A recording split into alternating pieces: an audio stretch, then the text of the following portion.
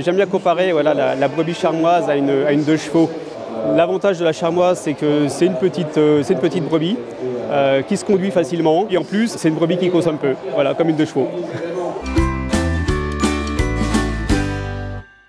C'est une brebis qui va, qui va de fait de sa, de sa faible taille et de sa prolificité aussi qui est limitée, qui va se satisfaire de très peu d'alimentation. Un fourrage va, suffire pour qu'elle passe, euh, passe l'été euh, de manière satisfaisante. Et d'autre part, c'est une brebis qui, valorise aussi très bien les milieux difficiles.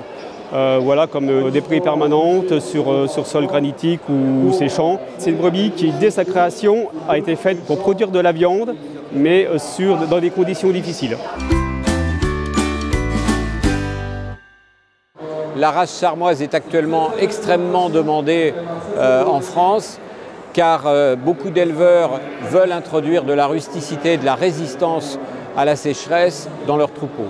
Le sommet de l'élevage, c'est l'exportation, mais c'est aussi développer nos, ventes de, de, béliers pour le croisement de grandes races françaises.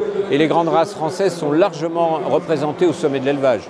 À l'international, elle existe principalement au Pays de Galles.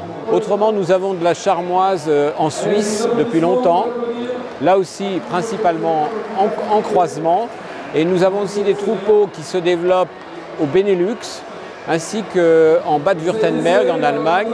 En France, il y a euh, dans le noyau de sélection, il y en a assez peu, on doit être entre 3 et 4 000 euh, brebis, et il y a à peu près dans le, troupeau viande et ça doit être aux alentours de, de 20 à 25 000 charmoises en production viande.